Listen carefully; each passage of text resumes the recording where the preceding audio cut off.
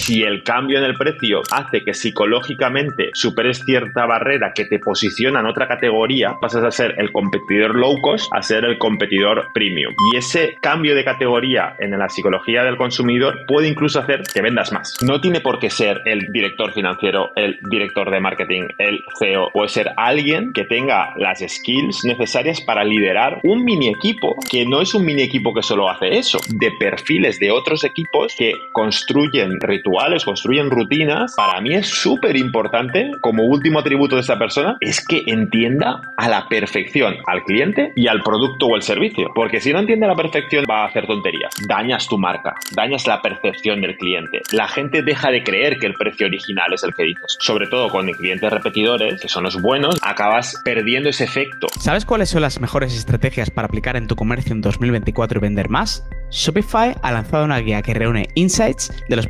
podcasters en Europa líderes del sector del comercio y que explora las distintas tendencias y estrategias que funcionan como la IA, la confianza local o las experiencias en tienda. Descárgala en p-h.es barra podcasters. Bienvenido, bienvenida a Growth, soy Alex Granados y hoy tengo conmigo a Juanjo Traver, co-founder y CRO de Declarando y una persona que sabe muchísimo de pricing, de hecho tiene su propio podcast, The Pricing Stupid, y de hecho, este es el tema del que vamos a hablar hoy, que da para muchísimo. ¿Qué tal estás, Juanjo? Hola, muy bien. Encantado de estar aquí. Nada, gracias por, pasarte. Y vamos a empezar con una pregunta que, que no es nada fácil, pero bueno, vamos a ello. Que es, ¿por qué es importante el pricing? Eh, bueno, eh, había que empezar por esta pregunta. Está, está, muy bien. Pero yo voy a, voy a dar un paso atrás y es eh, definir qué es el pricing para mí, ¿no? Porque muchas veces la gente piensa en el pricing de una manera muy, muy, muy pequeñita, ¿no? algo de tocar el precio de algo, ¿no? Y, y a mí me gusta subir un nivel, ¿no? Y, cómo lo concibo yo, ¿no? Y para mí el pricing va mucho más allá de mover un precio, ¿no? Yo para mí el pricing es modelo de negocio, lógicamente, no es lo mismo cobrar un modelo de suscripción que cobrar, eh, pues vendes un zapato en un e-commerce, ¿no? Eh, pero luego hay muchas más cosas aún, ¿no? Es, está la comunicación, ¿no? Cómo, cómo presentas eh, ese modelo, esos precios, ¿no? Eh, esto hay mucha, mucha, mucha literatura, ¿no? Esta, esta parte más psicológica, ¿no? De, de, los precios redondeados, los precios no redondeados. Está. Luego está la parte de los descuentos, de que ya no solo los descuentos, es cómo cobras, ¿no? Es, va más allá del de, de, descuento, es, vale, sí, te hago este descuento, pero ¿qué me pagas? Todo por anticipado, me pagas un poco ahora y un poquito después, eh, eh, si, si, me dejas de pagar, ¿qué pasa? ¿no? Todo lo que hay alrededor de, la gestión del cobro. Y aquí, de hecho, hay, hay, hay una, una, teoría que a mí me gusta, que, que, para que veáis el alcance que puede llegar a tener el, el pricing, ¿no? que habla Luego ya te dejaré eh, libros y tal, porque soy muy malo con los nombres, ¿vale? Pero hay una teoría que habla de las 12 Cs del, del precio, las 12 Cs del pricing, ¿no? Es como las 4 Ps famosas estas de, de, de marketing, ¿no? De Kotler, eh, pues las 12 Cs del marketing y cada C es como una faceta ay, perdona, del, pricing. Cada C es como una faceta del precio. Entonces, eh, puede llegar a tener eh, mucha complicación. Mira, me he dejado otra cosa que para mí es importante, ¿no? Cómo se comunica al equipo los cambios en el modelo, ¿no? Cómo transformas esa teoría en, en, la práctica. Esto forma parte de la estrategia de marketing. ¿A quién implicas en... Eh, he dicho marketing otra vez. la estrategia de pricing. ¿A, quién implicas, ¿A quién implicas en la empresa?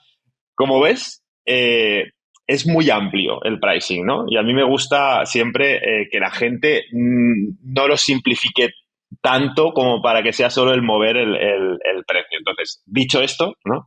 Te contesto a la pregunta. Fíjate, si tiene tanta, tanta capilaridad el pricing, es porque afecta mucho. Afecta mucho. Entonces, eh, si afecta mucho, quiere decir que tenemos que darle importancia. Y luego hay una estadística que siempre se utiliza cuando se quiere explicar por qué afecta tanto el, pricing, es porque es la variable que más mueve eh, los beneficios de, un negocio. ¿no? Eh, hay una gráfica por ahí famosa que al final pone eh, las típicas variables, que si los precios, que si los costes fijos, los costes variables o las ventas. ¿no? Y muchas, muchas veces es súper típico que la gente cuando quiere ganar más se obsesiona con vender más o mm, dan las cosas regulín, se obsesionan recortar eh, gastos, ¿no? Y sobre todo los fijos. Los gastos fijos hay que, hay que eliminarlos, ¿no? Pues esta gráfica eh, te lo pone y te dice, mira, eh, si tocas los gastos fijos, en el resultado final de tu negocio, esto afecta en un 2, y pico por ciento. Si tocas eh, los gastos variables, el resultado final, estoy tirando de memoria, igual me, baila un poco la cifra, pero creo que es un 3 y pico por ciento. Si incrementas las ventas, en el resultado final afecta un 7 por ciento. Si tocas los precios y consigues un incremento neto ¿no? sobre el precio, con lo que sea, ¿no? Con modelo de negocio, con lo que sea, 11%. Claro, es que, ¿por qué es importante el pricing? Pues te lo acabo de resumir. Es que es lo más importante de una empresa. Oye, ha mencionado esto de las 4 Cs, creo que eran, ¿no? Eh, pero nadie ha dicho las 12 Cs, las 12.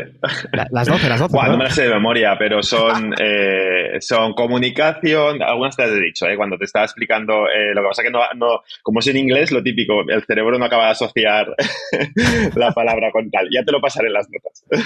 bueno, ya has comentado, ¿no? Lo que te aporta un poco en cierto modo, jugar con el pricing, ¿no? Que al final es eh, pues más revenue, ¿no? Has, comentado ahí que es un factor eh, importante. ¿Hay algo más que, que, te aporte jugar con el pricing, el experimentar con ello?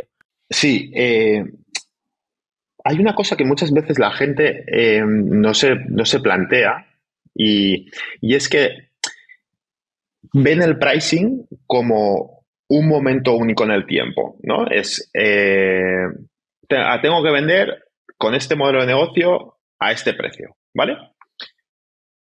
Cuando me compra por primera vez un cliente. Entonces se olvidan que los negocios no son casi nunca de esa, no viven de esa primera compra. Lógicamente los de suscripción vienen de la repetición, pero incluso los e-commerce viven de que esperan que el cliente repita, ¿no? Entonces, eh, si tú siempre, para que un negocio funcione, tienes que pensar en ese primer momento de entrada del cliente y su vida futura, en el pricing, tienes que pensar de la, de la misma manera. Entonces, con una buena estrategia de precios, una buena implementación del modelo de negocio, tú puedes tener impacto en esa segunda fase, eh, muchísimo impacto. ¿Por, qué? Por ejemplo, eh, una empresa, ¿vale? Eh, que a lo mejor tiene un problema de retención o un problema de que, de que recibe con mucha, mucho, mucha cancelación, ¿no? Lo típico que tienes 15 días para cancelar o lo que sea, ¿no? Y, y necesita, es un producto que necesita cierta madurez en el uso, ¿no? El, el, usuario a veces al principio le cuesta un pelín, ¿no? Y si le cuesta un pelín al principio y tú al mismo tiempo le estás dando una ventana de oportunidad de salirse muy rápido, ya no de los 15 días, sino el típico modelo de 30 días, cada 30 días renuevas, ¿no? eh, puedes pensar, es que me interesa más vender mes a mes porque si vendo un año tengo que dar un incentivo para que me contrate un año y claro, ese incentivo tiene que ser eh, importante, ¿no? Ese descuento por contratar un año, lo que sea. Eh, prefiero mes a mes, ¿no? Te pones a hacer los numeritos, ¿no? Y de repente dices, vale, pero si cada mes pierdo un 5% de, de mi base de clientes, ¿no? De ese grupo de clientes que te han comprado un mes, pierdo un 5%, al otro mes otro 5%, al otro mes otro 5%, y llegas al cabo de 12 meses y ese, ese 100% de clientes que tenías en el mes 1 se ha convertido en un 50%. Y tú tienes un descuento porque te contrato en un año del 30%. Es mejor ese descuento del 30% que no esperar a perder un 50% por el camino es mejor por la matemática y porque a lo mejor indirectamente, como le das más tiempo al cliente para que se asiente en el producto, acaba queriendo más el producto. Acabas eh, consiguiendo una retención. Correcto, acabas de conseguir una retención no por el precio, sino porque ha tenido más paciencia el cliente. ¿Vale? Entonces, fíjate, eh, lo relevante que puede llegar a ser eh, el pricing en, no solo en ese primer impacto en el revenue, en el, en el, beneficio que te aporta ese cliente, sino en tu estrategia de construcción de producto, incluso, ¿no? De esto podemos hablar más eh, profundamente. Eh, sobre esto mismo, me interesaría, o me parece interesante que el tema de, en cuanto a números, em, ¿Hay alguna, algún tipo de benchmark, digamos, para así decirlo, de cuánto puede mejorar o cuánto puede impactar el revenue em, de media, ¿no? Estamos hablando de medias. Y sé que va a depender de modelo de negocio, etcétera. Pero ¿cuánto podemos impactar el revenue jugando con el pricing? O así un poco a nivel general. A ver, eh, benchmark en plan. Eh, es decir, no hay un benchmark tal. Claro, claro, pero no hay un benchmark tal cual lo has planteado la pregunta, ¿vale? Pero sí que te voy a dar benchmarks eh, que son muy sencillos de aplicar, que, yo la primera vez que lo escuché dije, joder, hay veces las cosas más sencillas son las más, las más útiles, ¿no? Entonces, muchas veces una de las principales barreras psicológicas que le genera al emprendedor, al, al que sea que esté pensando sobre esto, es ese miedo a hacer un cambio, ¿no? Hacer un cambio sobre el precio. Porque dice, pues bueno, se auto se autoponen excusas, ¿no? Pues esto no puedo tocar el precio por esto, por X y Z. Entonces, hay una manera muy sencilla en muchos casos de, de, de ver si funciona o no y si nos permite ese recorrido hacia arriba de ganar más dinero, que es ejecutar el cambio, ¿no? De alguna manera. Voy a ponerme en el caso sencillo de una empresa que vende servicios, una empresa que, utiliza un equipo de ventas para vender, ¿vale? Que este es el, más sencillo y que todo el mundo va a entender. Claro, si yo tengo un equipo de ventas que está con unos ratios de conversión, que ahora hablaremos de benchmarks en ratios de conversión, ¿vale? Unos ratios de conversión X, ¿no? Pues de lead, ¿no? De ese interesado que te llega a contrato firmado, pongamos, por redondear, eh, un 10%. ¿Vale? Entonces, si tú tienes ese ratio de conversión, aplicas la subida de precios y el ratio no se ve afectado, pues ese es tu benchmark. El ratio no se ha visto afectado. Y muchas veces la gente eh, se, monta historias muy complicadas para saber, ¿no? ¿Qué, tendría que hacer? ¿Qué, tengo que subir? ¿Un 10% los precios? ¿Ese es el benchmark? ¿Subir el, el 10% los precios? Ahí es difícil tener un benchmark porque eh, eh, lógicamente eh, lo que va a ocurrir es que vas a mezclar modelos y, tal, pero con esta pequeña probatura, pues puedes averiguar enseguida si, estás acercándote a algo positivo o no. Para mí lo importante es el benchmark en los ratios de conversión. Y ahora sí que voy a benchmarks, ¿no? Entonces, entonces no soy súper experto en todos los benchmarks del mundo, lógicamente, porque si no sería una... Para eso tenemos a ChatGPT pero eh, de lo que más sé, que es de venta B2B, ¿no? Aquí sí que más o menos los benchmarks se pueden conseguir eh, googleando un poco, utilizando ChatGPT, como he dicho. Y, si nos movemos en, ratios de conversión de interesado a contrato firmado entre un 3%, 10%, eh, eso ahí estaría como la media, ¿no? Entonces, ¿Qué puede ocurrir a veces cuando tocamos el precio? Que a veces incluso puede suceder que en vez de vender menos, vendamos más, ¿no? Y a lo mejor eh, pasemos de un ratio de conversión del 5% a un 5,5% y digas, esto es imposible. Pues no, pues es porque eh, si el cambio en el precio hace que psicológicamente superes cierta barrera que te posiciona en otra categoría, de repente tú a lo mejor pasas a ser el competidor low cost a ser el competidor premium, ¿no? Y ese cambio de categoría en la psicología del consumidor puede incluso hacer que vendas más, ¿no? Entonces, eh, creo que es importante ¿no? entender que eh, el movimiento en el precio puede tener efectos súper inesperados, ¿no? Y, siempre que nos movamos en, estas, en estos rangos, eh, pues estamos en rangos sanos, lógicamente 10% es excelente, 10% eh, y 3% pues estás en un rango justito, ¿no? Y que, y que el modelo funcionará o no en función de muchas otras variables, ¿no? Pero creo que es un heurístico relativamente sencillo este de aplicar. 100%. Eh, vamos a entrar un poquito más en materia, ¿no? Porque estamos hablando pues, de la importancia de benchmarks, etcétera, pero digamos que yo quiero testear un poco, ¿no? Y quiero, pues, jugar con el pricing. ¿Qué técnicas y qué metodologías hay para, hacerlo, ¿no? Para, poder, pues, entender mejor eh, mi pricing, para poder, em, pues, en definitiva, experimentar con él. Vale, esta, esta es la, pregunta larga, ¿vale? Em, a ver, hay muchas técnicas, ¿vale? Pero antes de ponernos a hablar de técnicas, para mí, y esto insisto mucho en, el podcast, ¿vale? Para mí, eh, lo primero es eh, las barreras, superar las barreras que, que nos ponemos, ¿no? Las barreras de no toquemos el modelo, no toquemos los precios, no toquemos la estrategia de descuentos, no toquemos X, ¿no? Todas las cosas que he dicho al principio que, pueden eh, impactar alrededor del pricing. Entonces, si no hay una cultura adecuada en la empresa de experimentar alrededor de esto, que esto vosotros os lo habéis, eh, encontrado en otro, tipo de experimentación, ¿no? Pero el concepto de, experimentar y a veces romper, ¿no? Ah, tiene que estar muy, muy aterrizado dentro de la cultura de la empresa, ¿vale?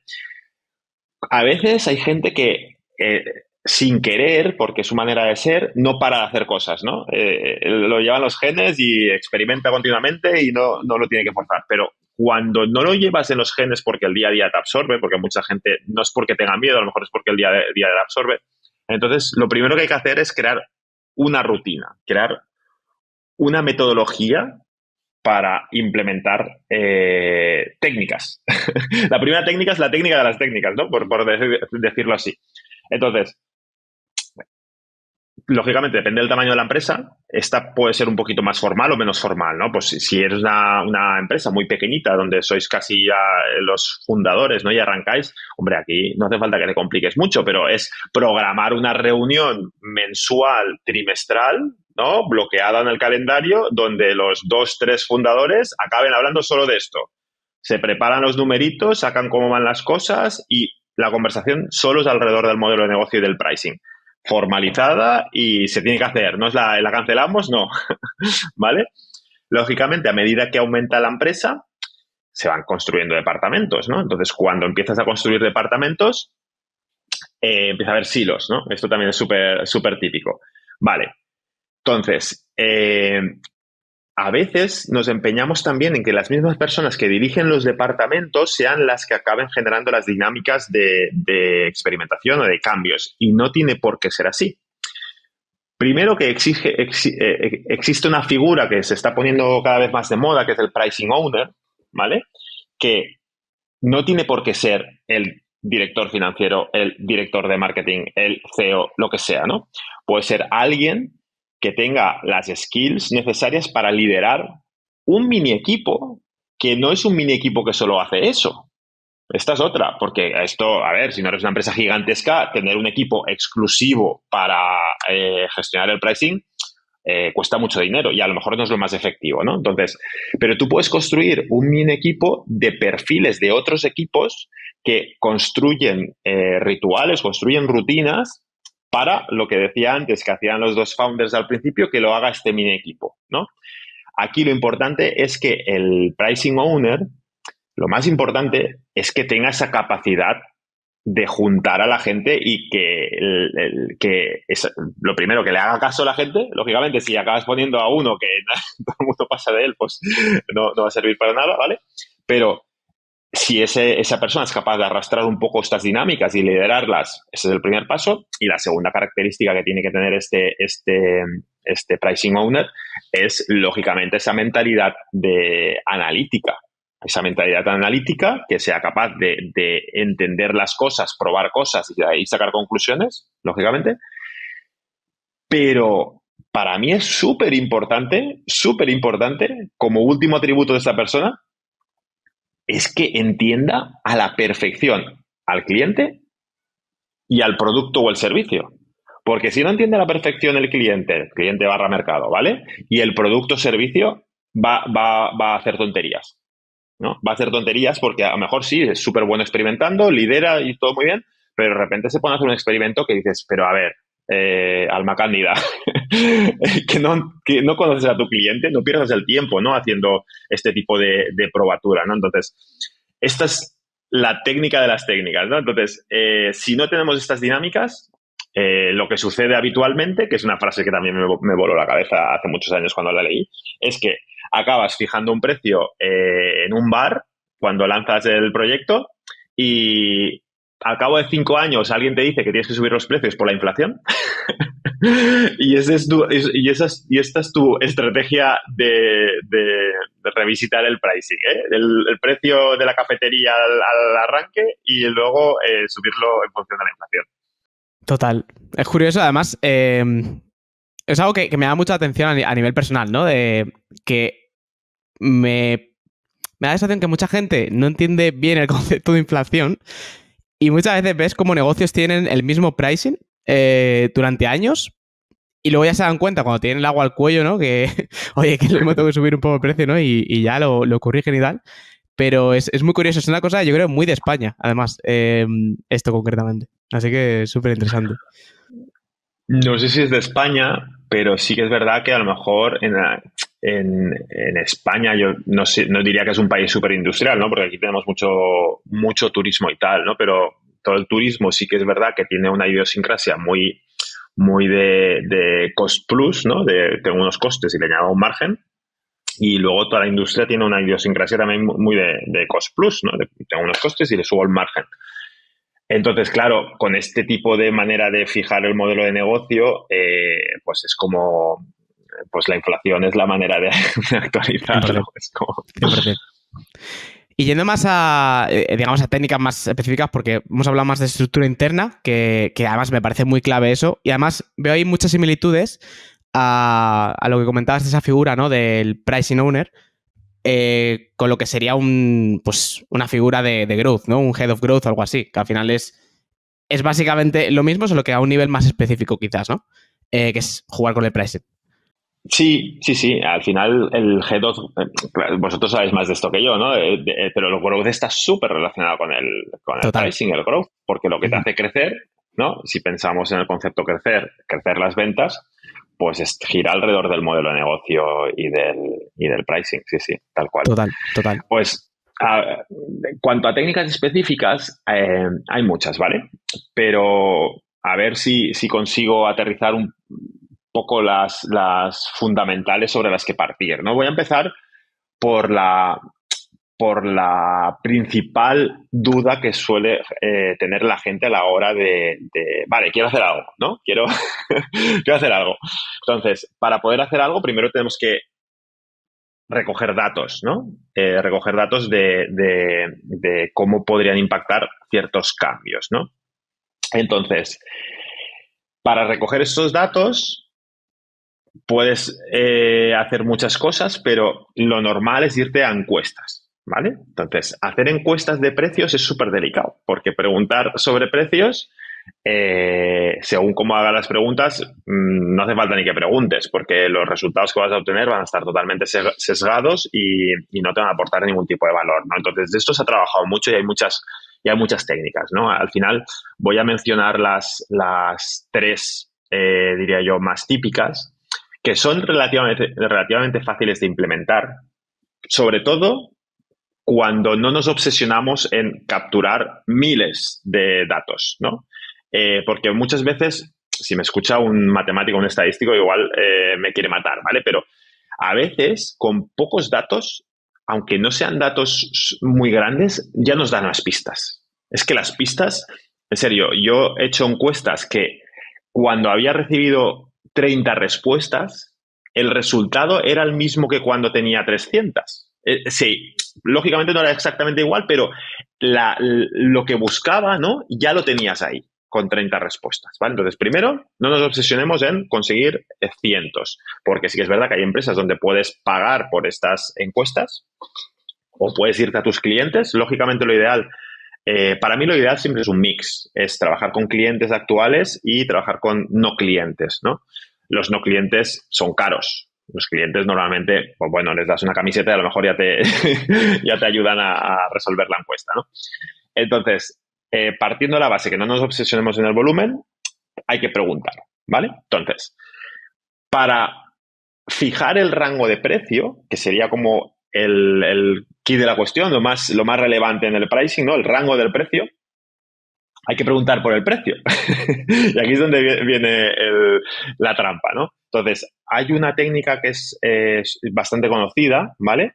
Que eh, le preguntas le preguntas sobre algo en concreto, ¿no? Sobre el servicio en concreto, el producto en, concreto. Cuidado con esto, ¿eh? ¿Eh? Preguntar sobre un conjunto de atributos, un conjunto de, características de un plan, de un paquete de servicios, de un paquete que ofrece un producto, es peligroso. Cuanto más sencilla sea la pregunta y más acotada, siempre, siempre es lo mejor. Aquí es el menos es más de toda la vida. ¿eh? Las preguntas cuanto más sencillas eh, van a generar menos, menos sesgo, porque si le preguntas por un paquete, te va a dar un precio y a lo mejor el precio de esa cosa que tiene ocho cosas, realmente lo ha determinado una. Y, el, que recibe la pregunta, pues acaba mezclando churros con, con Entonces, vale. Preguntemos por algo muy concreto, muy pequeñito, idealmente una cosa, y eh, le pedimos que nos dé tres precios le pedimos, ¿no? Y, es, ¿qué sería para ti? ¿Qué precio sería para ti una ganga? ¿Qué precio sería para ti? Eh, eh, creo que es la segunda, caro.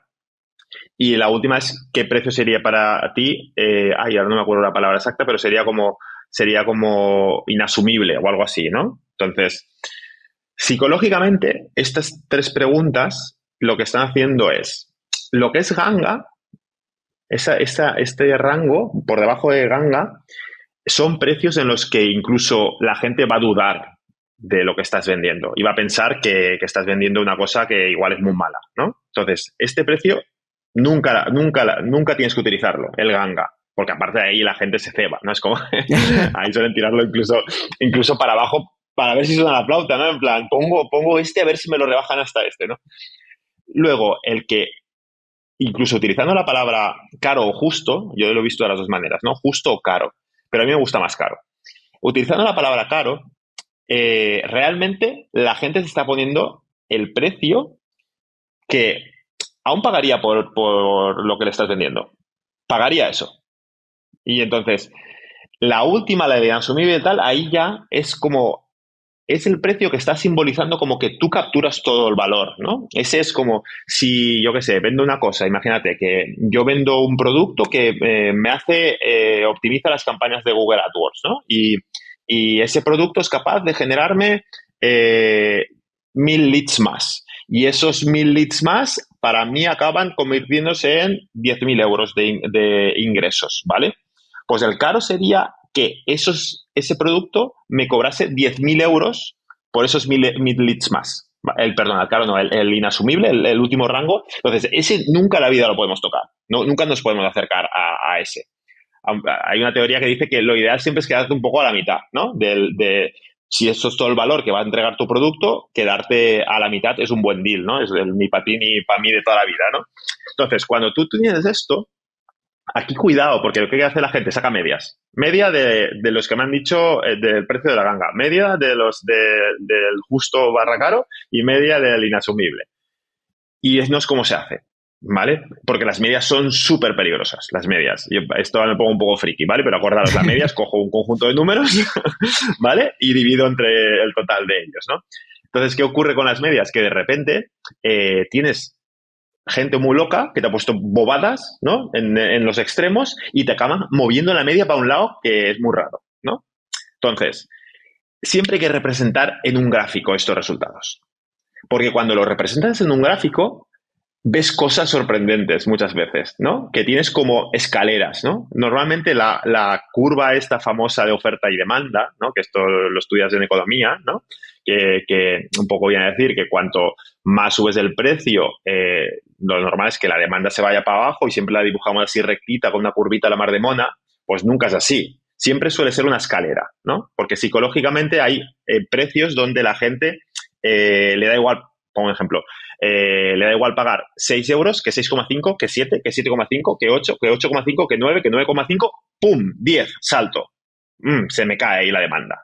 Entonces, cuando lo dibujas, ves esos saltos, ¿vale? Entonces, cuando ya tienes estos saltos dibujados, ya eres capaz de decir, vale, ya puedo eh, moverme alrededor de este intermedio y teniendo en cuenta estos saltos. Y ahí es cuando ya puedes acabar decidiendo eh, el precio, ¿vale? Me voy a una segunda técnica, que, es más sencilla incluso, ¿vale? por cierto, esta primera era, la de Van Westendorf, ¿no? Sí, sí, sí, correcto. El nombre este raro que nunca. sí, yo tampoco lo pronuncio bien nunca, pero, pero porque lo tenga. Pero cuidado, eh. Importante porque la gente aplica esta técnica haciendo medias y entonces no sirve para nada hacer esta técnica con medias. Acabas con resultados totalmente distorsionados. Lo importante ¿Hay algún dato... pero no interrumpa aquí, pero ¿hay algún dato? O sea, es decir, la media no, no funciona tan bien, pero yo que sé, la mediana o lo que sea, ¿hay algo que, que funcione mejor? El dibujo es lo que me funciona mejor siempre. El dibujo, porque la mediana, a mí me gusta más la mediana en general, pero eh, es que tú quieres ver los saltos. Es que tú quieres ver el, dónde se pronuncian los saltos, porque son, los saltos son súper determinantes para capturar todo el valor que puedes. ¿no? Imagínate que te sale la escalera donde tienes el salto a 5 euros y a 10 euros, y la mediana te había salido 6, y la media te había salido 7. Tú dices, vale, pues nada, 6, 7. No, no, que es 9 el precio que tienes que poner. 9,9. ¿Vale? Te acabas de dejar un 30% por el camino. Entonces, esa es la mejor fórmula siempre, la, de dibujar. Vale. Entonces, la segunda técnica, luego tenemos que dibujarlo todo siempre, ¿vale? Pero ¿cómo capturamos los datos? la, segunda técnica es la que eh, vas probando precios. Esta es muy sencilla también. Lanzas el precio tú, no preguntas al, precio al consumidor. Le dices, ¿estarías dispuesto a comprar esto por X? Del 1 al 5. ¿Vale? Donde 0, o del, 1 al 5 del 0 al 5, no recuerdo, igual. Donde el 1 es ni de coña, el 5 segurísimo, ¿no? Entonces, empiezas a ver lo mismo, de nuevo, cuando, qué, respuesta te dan. Aquí sí que puedes utilizar la, media o la mediana aquí, ¿vale?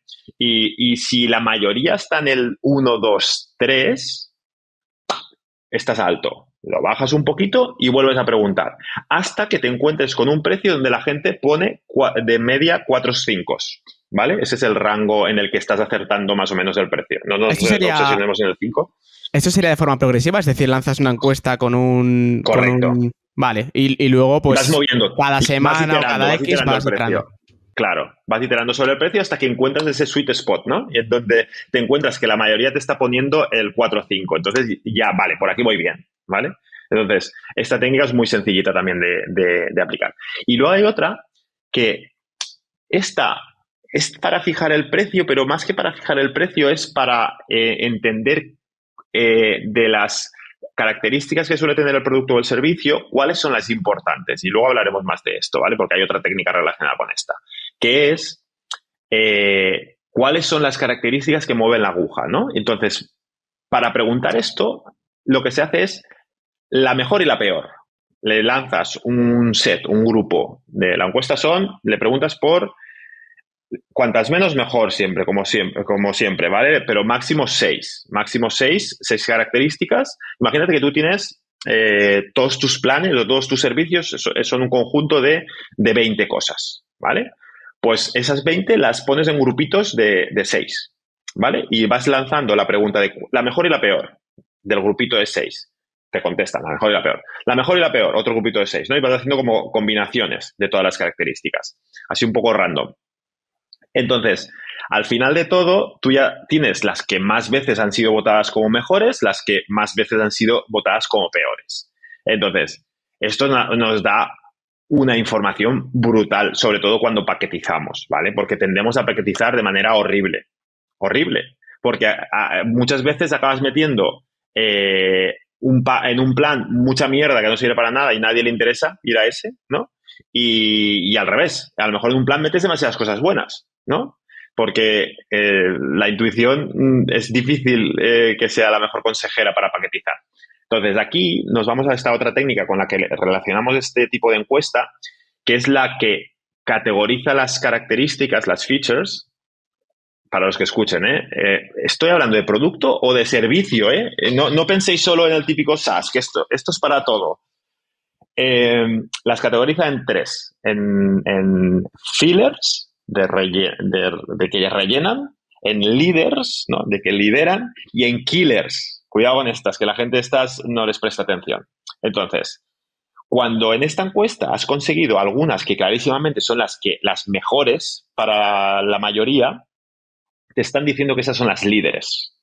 Entonces, esas no las puedes poner todas en el mismo paquete. Esas son las que te tienen que ayudar a hacer el salto entre paquetes, hacer ese upselling, ese upgrading o lo que quieras, ¿vale?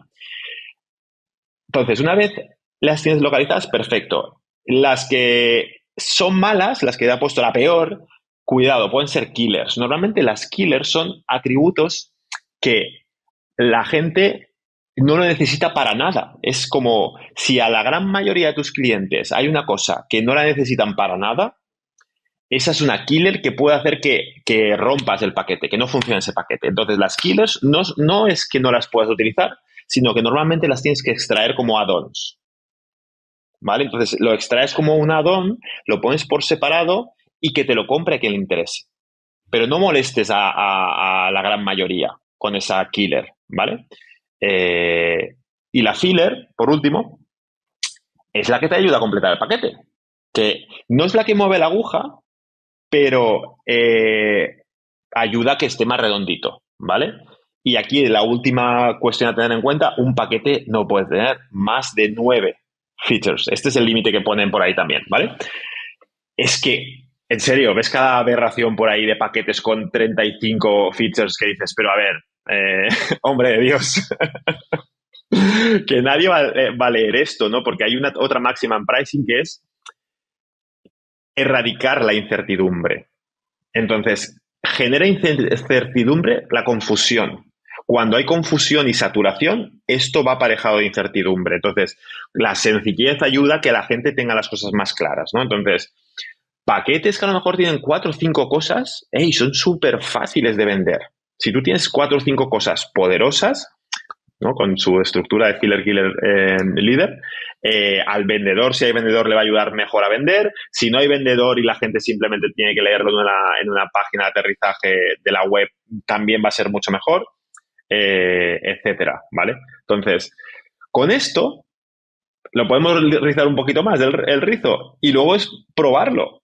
Porque de repente dices, eh, vuelvo a testear, ¿no? Y vuelvo a testear con esta estructura que acabo de definir. Y entonces ya veo eh, cómo se moverían entre paquetes. Y ya les pregunto por cuál elegirías de este paquete, ¿no? Y voy moviendo las líderes de sitio. Y las voy moviendo de sitio y veo a qué paquete se van. Y entonces ya buscamos la estructura óptima. Y con esto acabo esta parte de técnicas, ¿vale? que es esta típica de cuántos planes hago, ¿no? Porque todo esto que he dicho al final se tiene que representar en, pues varios como conjuntos de cosas que voy a vender, ¿no? Y esto, los que saben un poco de Internet, eh, saben que la mayoría utilizamos esta estructura de, tres columnas, ¿no? De, de, good, better, best, ¿no? Se llama la técnica de good, better, best, ¿no? El good, que es la más barata, el better, que es la intermedia, y el best, que es la premium, ¿no? Entonces, esta estructura no es que sea la mejor, pero se basa en un concepto, de nuevo, que es que la oferta y la demanda no son, no son nunca cosas eh, lineares, ¿no? Entonces, cuando tú quieres ser un modelo extremadamente sencillo como Netflix al principio, que era pagas tanto y punto, ¿no? Vale, mola. Incertidumbre, cero. Sencillez, máxima, perfecto. Vale. Pero te estás quedando, te estás dejando de capturar parte de lo que podrías vender. Pero aparte de sesgos como tipo anchoring, demás, o sea, que hay mil cosas ahí que, estás dejando de jugar con ellas, 100%. Correcto, correcto. Entonces, eh, cuantas más columnas, más complejo. Por eso tres es una que gusta a la comunidad ¿no? del pricing, porque es sencilla, es fácil de vender cuando ves cosas de cuatro, tienes que tener un motivo muy de peso para tener cuatro columnas, más de cuatro ya es un Cristo, más de cuatro, ¿vale? Entonces, volviendo a lo que decía antes, ¿no? Vas jugando, vas moviendo las líderes de sitio y ya intentas conseguir ese resultado óptimo que te dice el más, el que más quieres vender porque es el que más te ayuda a ganar pasta, no olvidemos, más nos ayuda a ganar pasta. No es el que, no es ninguna vanity metric. No, no, quiero vender más este paquete porque es más guay. No, es el que más me ayuda a ganar pasta por márgenes, ¿vale? Pues ese es el que tienes que conseguir que esté en la mitad, ¿no? Que te sea el intermedio y que moviendo las líderes y las cosas acabe comprando o por lo menos diciéndote que va a comprar cuando estás haciendo encuestas eh, más del 50%. ¿Vale? Y luego el más barato ese acabas teniéndolo para la gente súper sensible al precio y ese a lo mejor te lo tiene que comprar el 40% aproximadamente y el premium, ese tiene que ser caro siempre, el premium, porque ese es para esa gente que el dinero no, no tiene sensibilidad al precio. Y entonces, esos tienen que ir con, precios altos porque es lo último que van a mirar. Al revés, buscan exclusividad, buscan el precio alto porque se sienten importantes y quieren que tú les trates como importantes, ¿no?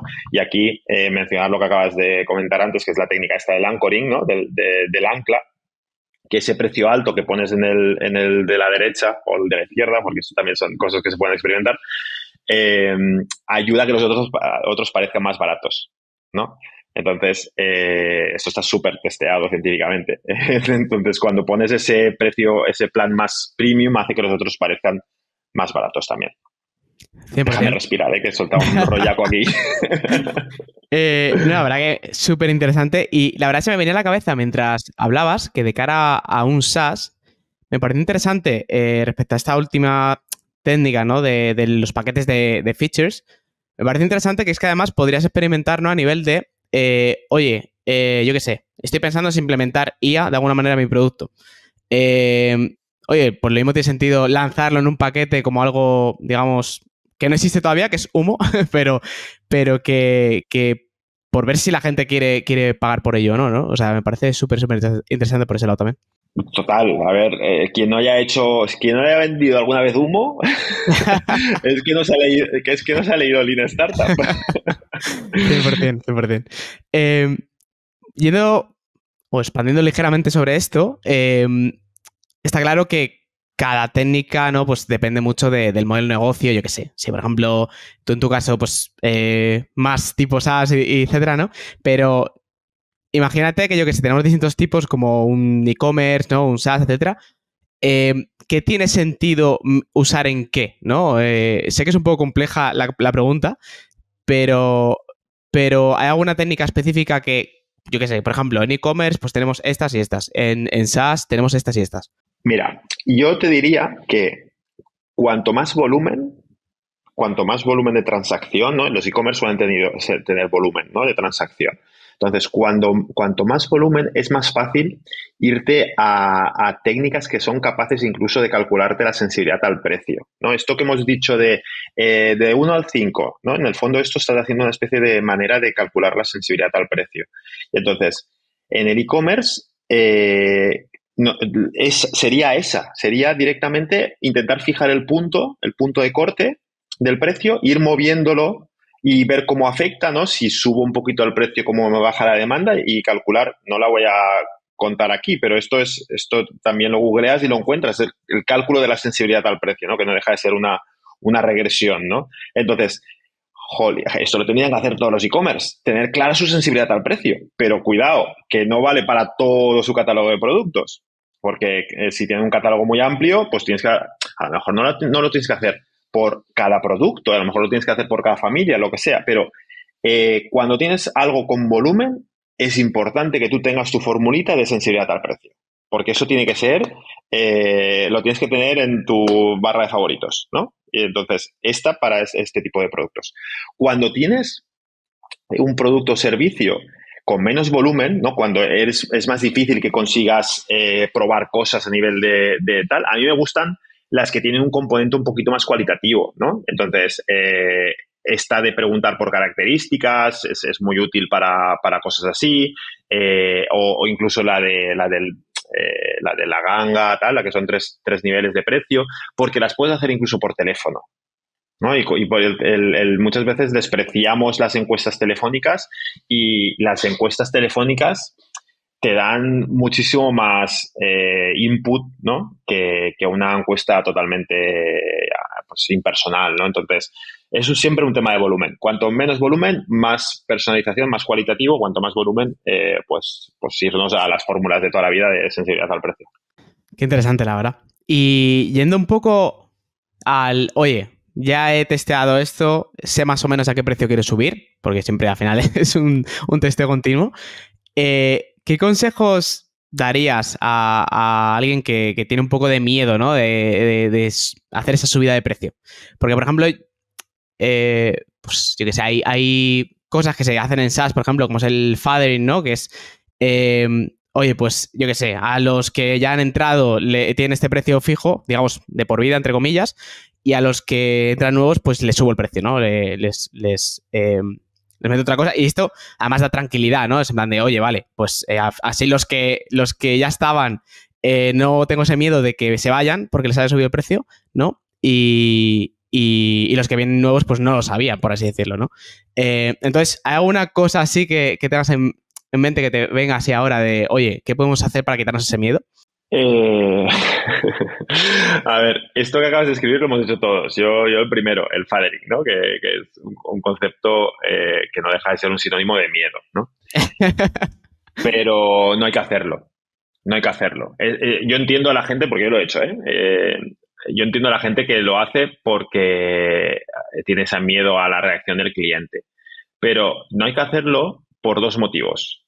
Primero, porque cuando normalmente aparejamos un cambio de precios o de modelo de negocio a un incremento de, valor entregado, que debería ser siempre lo adecuado. tú puedes estar equivocado en tu rango de precios, ¿vale? Una vez tu rango de precios está bien, eh, bien ubicado, van a seguir pasando cosas. Tú vas a seguir evolucionando a nivel de producto, a nivel de servicio. Entonces, esa adaptación continua nos va a generar que se produzca esta dicotomía, ¿no? De los nuevos que entran en los viejos pero tenemos que adaptarnos porque estamos mejorando. Entonces, como estamos mejorando, no tiene ningún sentido que por el mismo valor unos paguen más y otros paguen menos.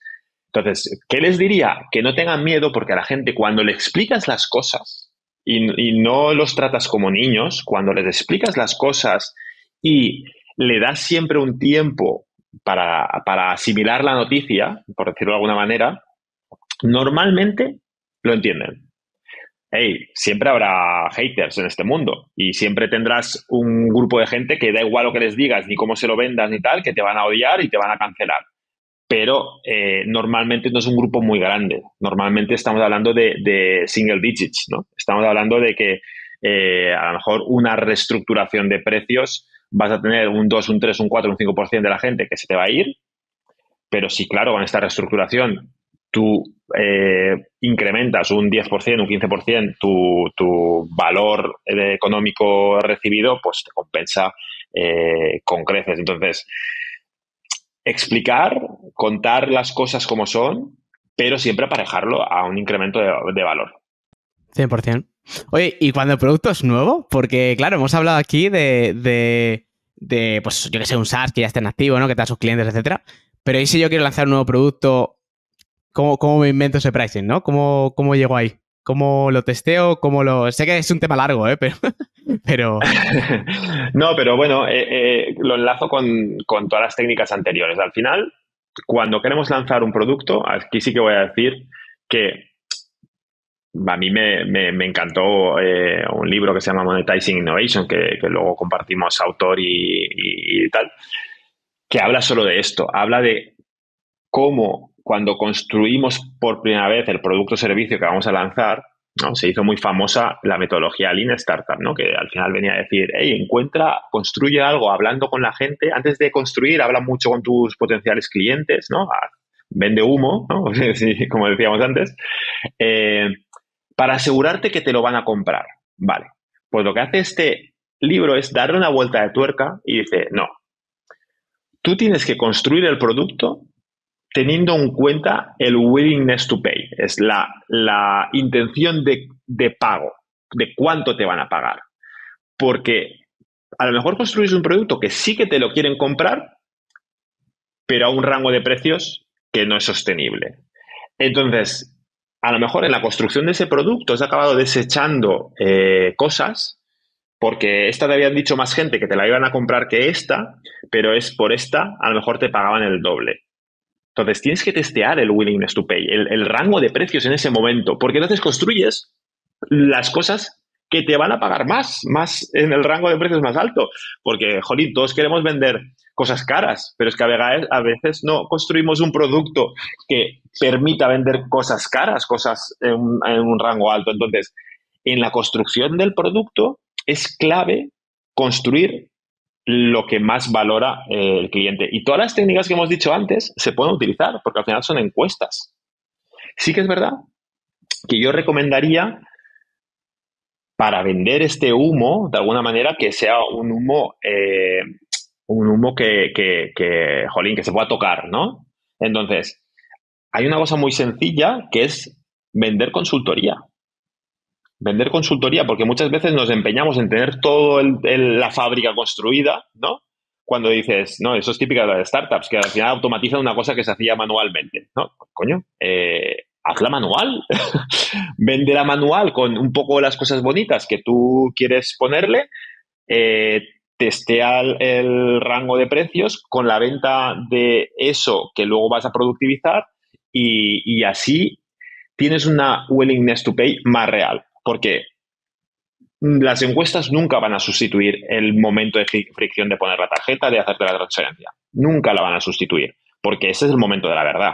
Entonces, si tú todo lo, basas en encuestas, te puedes encontrar sorpresas. Entonces, sí que recomendaría que este mix de técnicas más de, encuestas eh, junto con una venta, si se puede, ¿no? del servicio de manera manual o si no se puede, pues eh, buscar alguna manera de que llegues lo más cerca posible del momento de pagar la tarjeta, incluso que te pongan la tarjeta si tú sabes que serás capaz de entregar lo que va detrás de ese pago en un plazo razonable de tiempo, siendo un poco transparente, diciendo, vale, pues esto, ¿no? Como hacía como han hecho muchas, ¿no? De lanzar un producto y en precompra, en, pre, en, eh, ¿cómo se llama?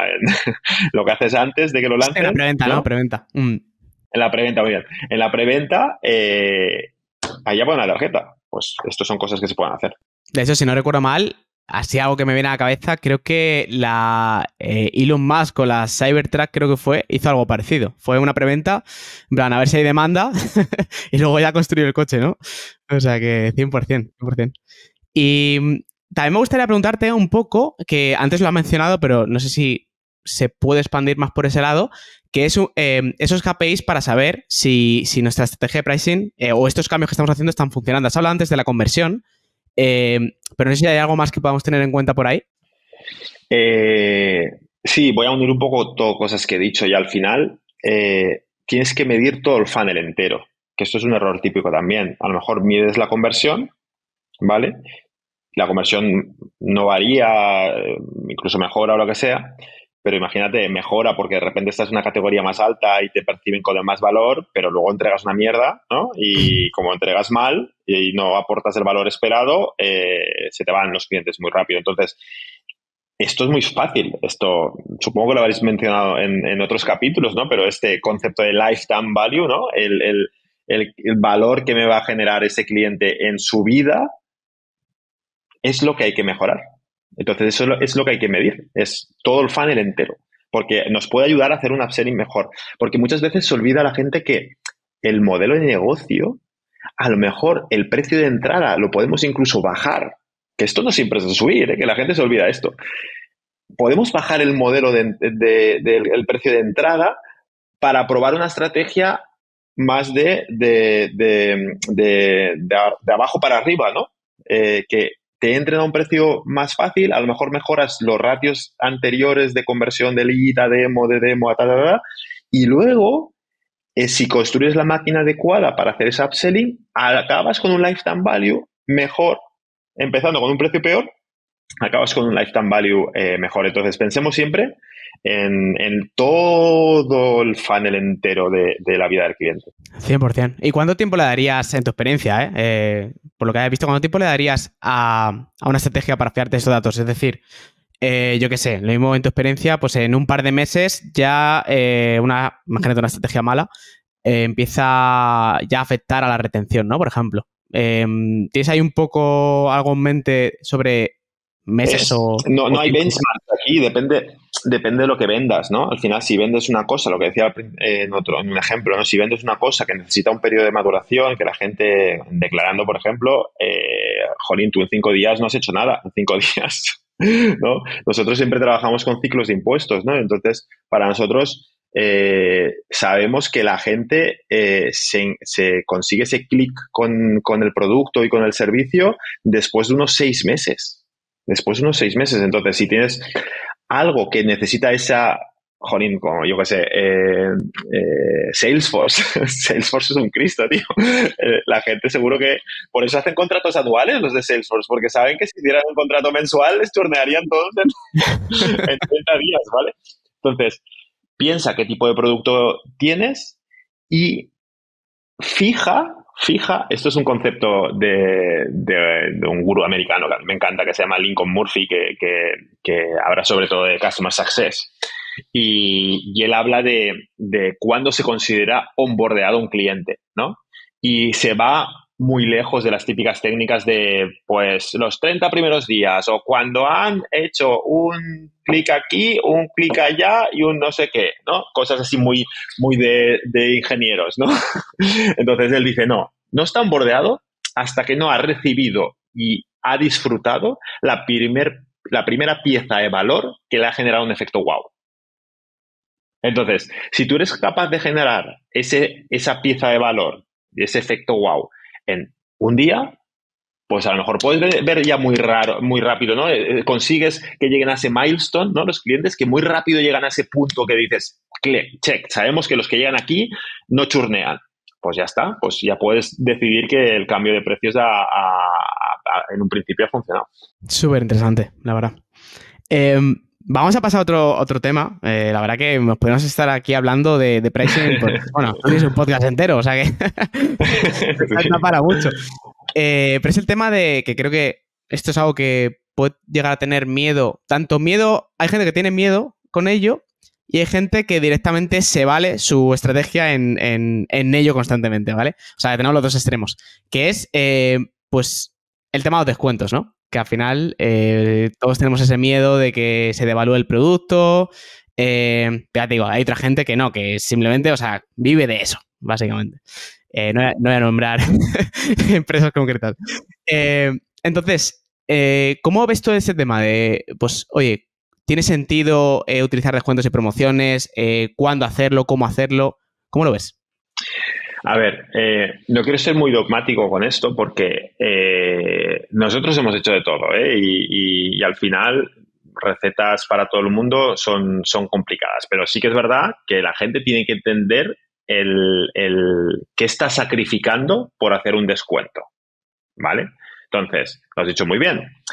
Tú cuando haces descuentos, sobre todo cuando son descuentos agresivos, ¿Dónde pongo yo el límite en agresivo? No, porque eso también está estudiado. Igual me equivoco, ¿eh? pero más o menos creo que se considera agresivo por encima del 25%.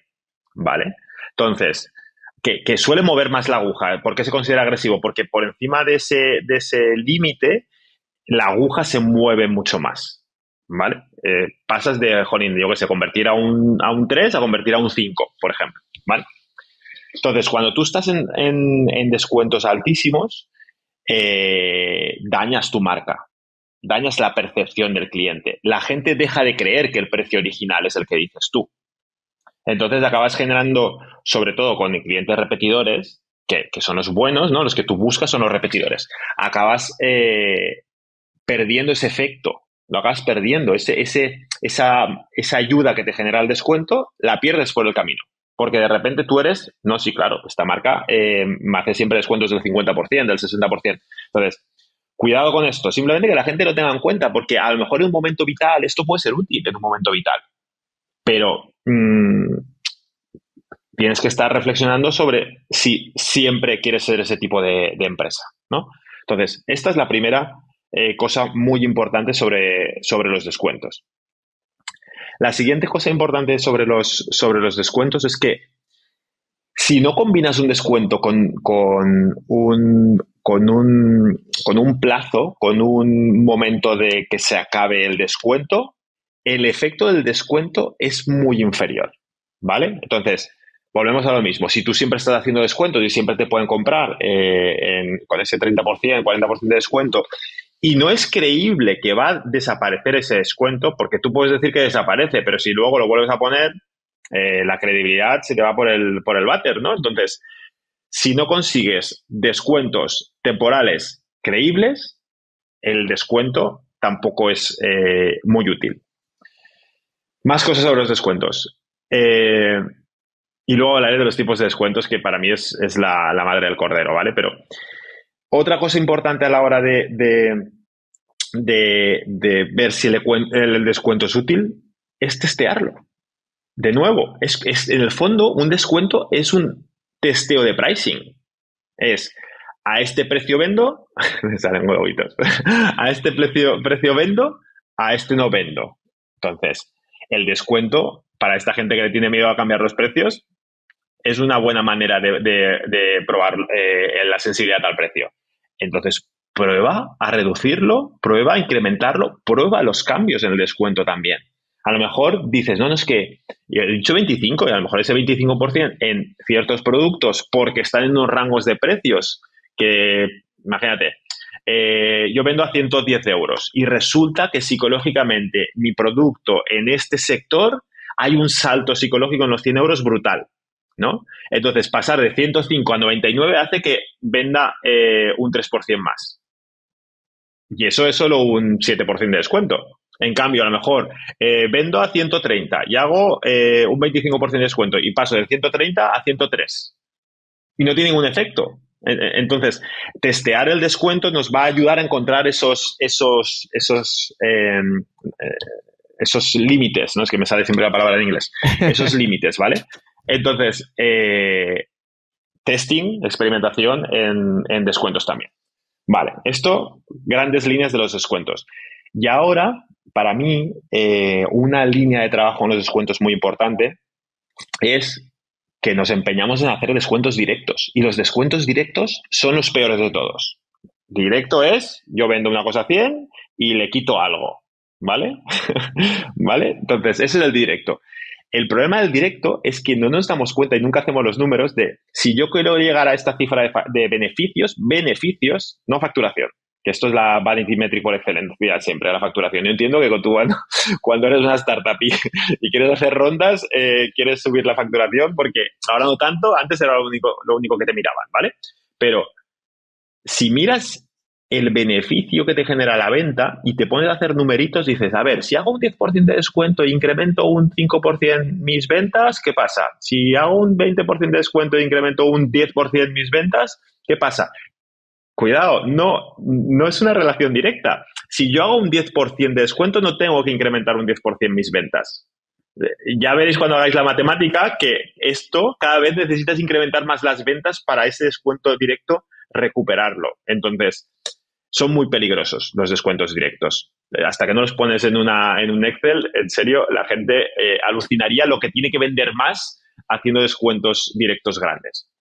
Existen otros que se utilizan muy frecuentemente, pero, pero eh, parece que son como eh, casposillos, ¿no? Que los supermercados, por ejemplo, los han utilizado toda la vida, los, las grandes superficies te dan el ticket, tiene tu próxima compra, tanto. Esto es un descuento a futuro. Eso aunque le hagas un 30% o, tal, en el cómputo global es mucho menos. Ya no es un 30% de directo, porque este te has llevado al margen entero y del siguiente te llevarás menos margen. Pero si sumas los dos, eh, proporcional es un X, un 10% o lo que sea. El 3 por 2 el 3 por 2 tampoco es un descuento directo, porque lo que estás haciendo es añadir más producto. Entonces, aunque parezca en la mente del consumidor que es un 33% de descuento, ¿vale? No es tanto. Después, eh, los descuentos en otros productos. Esa, esta es una maravilla. Esta, esta, tú negocias con algún partner otra cosa, ¿no? Eh, un precio bueno para otra cosa que vale 100 en el mercado y tú la acabas eh, añadiendo a tu producto o su servicio a, a, 80 y tú has negociado que a ti te lo venda a 80 también. No has perdido rentabilidad. Tú acabas de ofrecer un descuento por lo que te ayuda a vender, pero tú no eh, reduciendo tu rentabilidad en ningún, en ningún momento. Entonces, pensemos siempre cómo afecta al resultado, al beneficio, no a las ventas. Y si buscamos maximizar resultado, eh, no es, el directo es el peor de todos. Y un, último descuento que, se me había olvidado, que es el típico, por volumen. Cuidado con los descuentos por volumen, porque lo que nunca hay que hacer tampoco es, si me compras de 0 a 1000, un, no te descuento. De mil, eh, a partir de mil, eh, 10%. A partir de 2000, 20%. El descuento siempre se debe aplicar sobre el tramo. Porque como hagas el aplicar el descuento sobre todo, ya estamos en un descuento directo brutal, horrible, que llega un momento que dices, no quiero vender más, porque todo lo que había ganado en mi primer tramo, en mi segundo tramo, en el tercero, lo acabo de perder por culpa del cuarto tramo, ¿no? Entonces, está, eh, cuidado, hay que hacerla bien. Cada tramo tiene su descuento. Por los descuentos. La verdad que es, un, es un temazo y, me parece súper, súper interesante lo que has comentado. Em, para ir cerrando, porque la verdad nos, estamos quedando sin tiempo y ya te digo, me gustaría hablar de cosas más. Eh, pero me gustaría preguntarte a ti por iniciativas y experiencias que has tenido en, ya sea, pues, si es en otra, en otros proyectos o, en declarando concretamente. Eh, algo que, haya, que te haya llamado la atención o que hayas visto, que hayas hecho y que, digas, oye, guay. Yo siempre cuento el mismo, hemos hecho muchos, ¿vale? Pero eh, para mí este es el más, es quizás el más relevante que, fue eh, equivocarte de categoría eh, donde vendes, ¿no? Eh, porque esto no reflexiona a veces muy bien la gente, ¿no? Y cuando tú acabas construyendo un producto un poquito novedoso, a lo mejor buscas un comparable que no será adecuado, ¿no? Entonces a nosotros nos pasó. Nosotros cuando, cuando lanzamos, todos los softwares relacionados con autónomos, contabilidad y estas cosas, eh, eran muy baratos, pero muy baratos, extremadamente baratos. Eh, eran del rango, pues yo sé, no sé en, aquella época muy bien, pero el rango de 0 a 20, ¿vale? Eh, de 0 a 20 euros al mes, perdón. Y nosotros realmente no habíamos construido un software de contabilidad ni de facturas, habíamos construido un software de impuestos. Pero pues, nos equivocamos en la comparación y decidimos que teníamos que competir con esos. Y lo típico, arrancas y el más barato. ¿Vale? Entonces, eh, hasta que no nos dimos cuenta de que nuestro competidor realmente era el gestor tradicional o la asesoría tradicional, no cambiamos de categoría. En el momento que cambias de categoría y dices, ah, si mi competidor es una persona que hace las cosas manuales, ¿no? Es un, un, este tipo de servicio y me voy a sus precios, claro, es que sus precios eran casi 10x. Es que la media de eh, lo que cobraba un gestor, asesor, eh, no lo recuerdo cuando lo calculamos, pero a lo mejor nos acercábamos a los 100 euros al mes. Y pasamos de decir, jolín, es que estamos compitiendo con, con gente a 10 euros al mes cuando realmente este es nuestro benchmark, ¿no? Y eso fue muy, muy relevante porque hicimos un repricing muy agresivo, muy fuerte, y luego seguimos experimentando, pero que por sentido común, hombre, doblar, triplicar los precios, eso no se hace nunca. Es, es muy. Pero es porque eso solo sucede cuando te has equivocado de categoría. Entonces, esto es una experiencia que a mí me marcó mucho y por eso insisto mucho a la gente que entienda bien qué es lo que venden y contra quién compiten, porque la gente siempre que decide comprarte a ti o a otro está haciendo una comparación, y es otra, otra máxima del pricing, siempre hace una comparación. Asegúrate de entender la comparación. Si la entiendes bien, serás capaz de, de evolucionar de la manera correcta. Qué top, ¿eh? Y qué difícil es eh, saber qué servicio estás dando y con qué se compara cuando estás irrumpiendo en, un mercado, ¿eh? Mm. eh mm. muy, muy interesante, la verdad. Eh, me gustaría terminar con un... Bueno, pues eso, tú tienes tu podcast, ¿no? De, sobre pricing.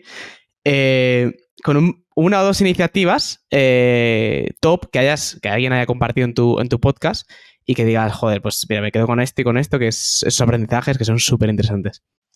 Sí, pues mira, em, te voy a decir primero una que, la verdad que me sorprendió bastante. Eh, bueno, para los que no se acuerden, el podcast se llama The Pricing Stupid, ¿ok? para que hagáis el, seguir. Em, en un capítulo entrevisté a Carlos Blanco, que la mayoría lo conoceréis, ¿no? Eh, es emprendedor en serie, inversor en encomenda y, con una experiencia pues eh, gigantesca ¿no? en, tecnología. Y, la empresa que vendió él más significativa, significativa, que fue Acamon, era una empresa que hacían videojuegos.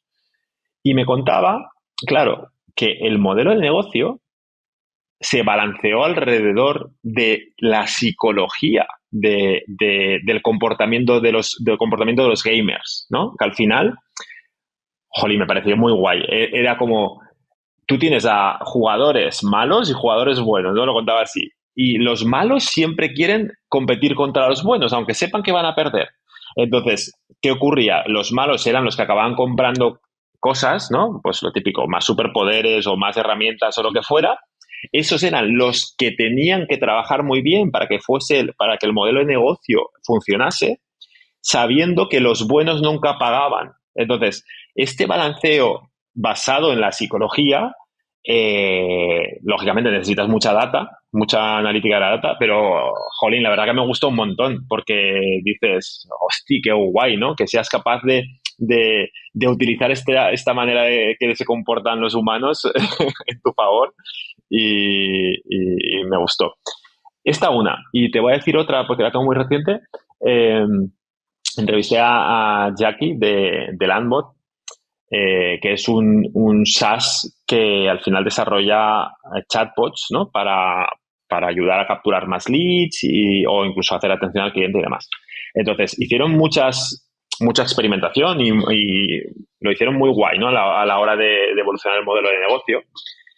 Y, hay una cosa cuando intentas estructurar un modelo de negocio que, no recuerdo el nombre técnico, pero son como las, las variables de valor, ¿no? En las que tú intentas que eh, alinear eh, lo que gana el cliente con lo que ganas tú, ¿no? Esto eh, lo hizo Google de maravilla con su Google Ads, ¿no? Que tú, claro, le pagabas más cuantos más el, leads te, traía, ¿no? Entonces estás alineando completamente el valor que tú capturas con el, con el, con el valor que, captura el cliente, ¿no? Esos son variables de valor, llamémoslas así.